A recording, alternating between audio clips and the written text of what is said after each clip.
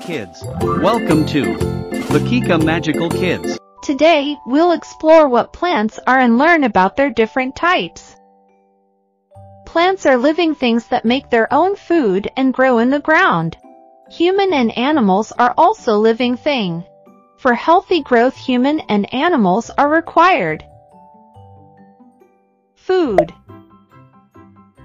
Water Air oxygen Sleep Similarly all plants need sunlight, water, air, soil.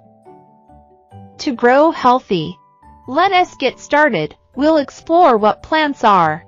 Tree. A tree is large plant characterized by a single main trunk, supporting branches and leaves. Let's see example of tree on screen. Welcome to Bakika Magical Kid. This is an apple tree. This is a mango tree. This is a coconut tree. This tree is tall in size. This is an orange tree. This is a banyan tree. This tree is large in size. Herbs. Herbs are tiny plants with soft stems, and their leaves, seeds, etc. are used for medicine or cooking. Here is name of herbs. Kids, welcome to Bakika Magic. This is a dill plant. This is a oregano plant. This is a coriander plant. This is a rosemary plant. Shrubs. Shrubs are short plants with woody stems, smaller than trees, and they usually have many branches and leaves.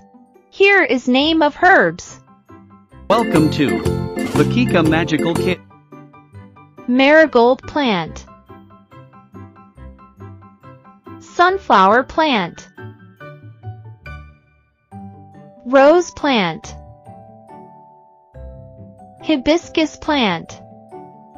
Creepers. Some plants grow along the ground, and they are called creeper plants. Here is name of plant. Welcome to Bakika Magical Kids. Don't Watermelon plant. Pumpkin plant. Climbers. Certain plants, unable to stand independently like trees, rely on support to grow vertically, and these are known as climbers. Here is name of climber plant. welcome to Bakika Magical Kids. Don't Here this girl is taking care of plant by providing support by stick. A grape plant. A bean plant. A pea plant. Don't forget to like, share and subscribe.